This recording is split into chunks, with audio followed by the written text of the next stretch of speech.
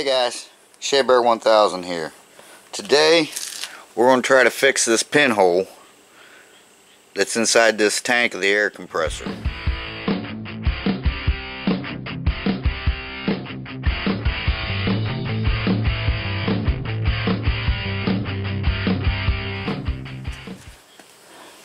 Okay guys, what we've got here is uh, there's a pinhole here and I tried to solder it once but all I did was take some sandpaper and clean it off a little bit.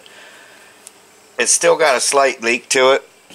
So we're going to grind this off of here and we're going to try to resolder that again. If not I'm going to try to get some uh, JB welder epoxy or something and uh, try to fix it that way since I don't have a welder. If worse comes to worse you know I'll have to borrow a welder or something and uh, and uh, put a tack on there. But let's see if we can fix it with, with that solder first. I have fixed these with solder before, and uh, the results uh, was always pretty good, except for this time right here.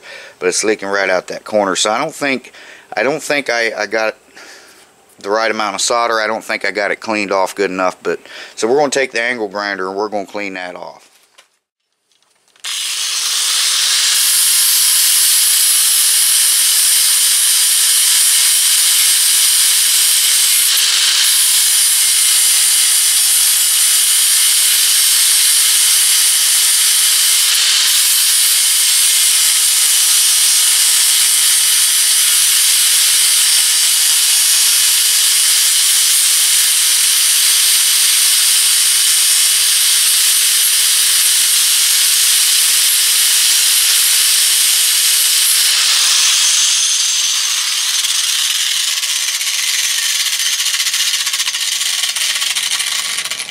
Guess I should have hollered noise alert. But if you look down in there, yeah, you can see it. Right about the middle of your screen right there. That's the pinhole right there. So what I'm going to do is I'm going to go ahead and try to solder this. I'm going to clean it out a little bit more around here some. And then we're going to try, we're going to put some flux on here and some flux on the uh, the the solder. I do have some acid, acid core solder so maybe that'll help. I don't think this was acid core that I had on here, but if I can get it to drop down inside there a little bit and kind of bubble out, you know, kind of bubble out a little bit, that should hold it. But let's uh, let's clean this off a little bit more, and we'll get the solder out.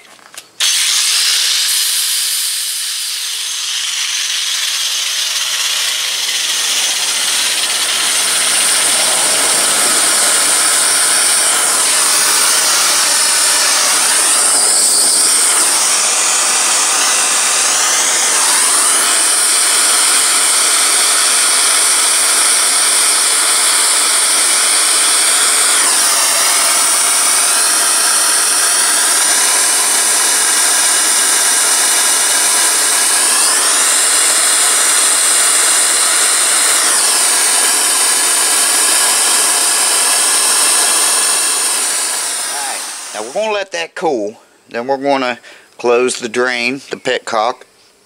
And then we're going to flip it back over and we're going to let it set for about 20 minutes because remember that pump has oil in it. So, and it's upside down. So we want all the oil to run back down to the bottom of the pump. So let's go ahead and let that cool and let's give it a shot and we'll see if we fix the leak. If not, I'll have to grind it off and borrow a little 110 just a little buzz box or something maybe and uh, I think it'd be alright for that so. What happens is see this is an air compressor. They build up with water. They get condensation in them I got to drain my big one oh probably twice a week. This one what happened was when I got it it had sat for I don't know 15 years or something like that. So and there was water in it when I first opened that petcock so what happened was the water got in here and it laid right there and it rusted a small hole in it or at least rusted almost through. And then when I let it build up with air I heard a little like that. So I knew that it popped a little hole there. So but let's go ahead and let this cool. Let's get it flipped back over. And uh, we'll uh, we'll turn it on and see if we got it fixed. Okay guys, she's all the way cooled down. I let her sit here for about a half an hour. Now let's plug it in. It may sound a little loud on camera, but actually this thing is very, very quiet. I need to put a new cord on it. But let's get it plugged in here and see if we got the leak fixed. See, that's not too bad. That's a lot quieter than my other one. Of course, my other one's a little bigger and a little older than that one. But let's let it run. Uh, I think it'll shut off. I think I got it set off, shut off, at, or set to shut off at about 100 pound, 100 psi. So let's let it run till it shuts off and we'll see if the leak is fixed.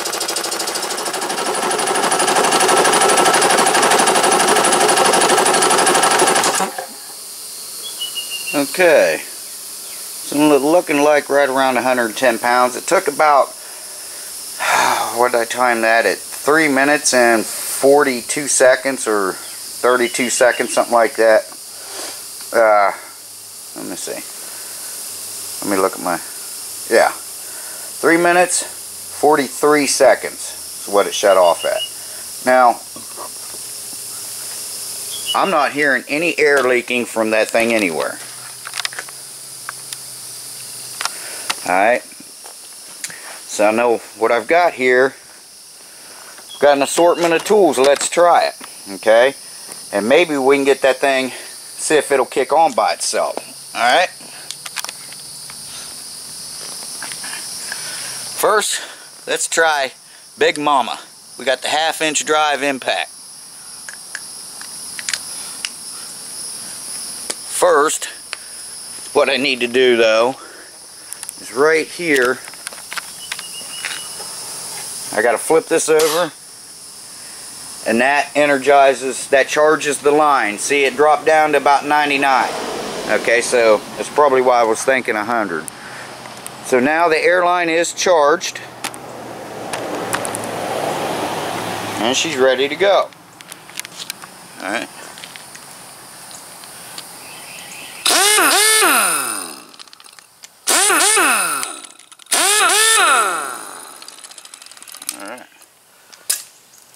Now this doesn't sound real noisy because it does have baffles and it does have a muffler. I don't like that. But let's try our little 3 8 drive. Hear the difference?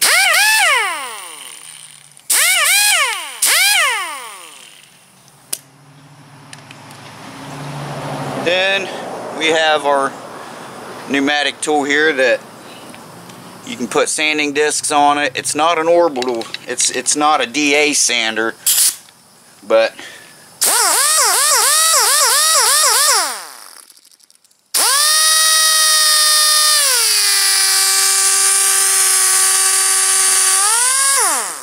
and it just kicked on.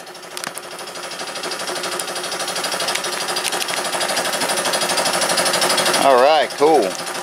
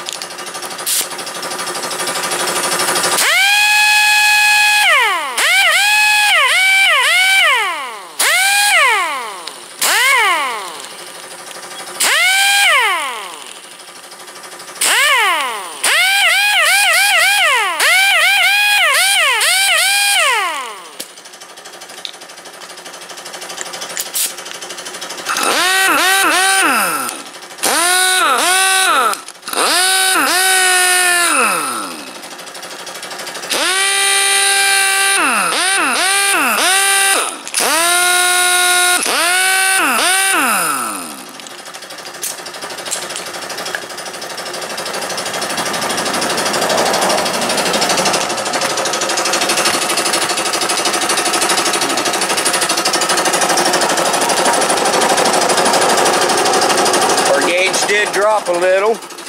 Of course I was running them tools. But it did kick on. and we know it'll kick off. So, so let's let it run another cycle. When it kicks off, we'll check and make sure, make absolutely sure there's no leaks in it. I think we got it, folks. Okay, guys, it turns out we did have one more little leak right there around the corner edge of that. But I went ahead and sanded that with the grinder like I did the other one and uh, put a little solder on it, and it's fine. There's no leaks now. Um, I did record all that, but, well, I thought I was recording. I had the camera set up, but I did not hit the record button. So I don't have that footage, but it was pretty much the same as before. So again, guys, thanks for watching. Shabear, the myth, the man, the legend. I'm gone for now.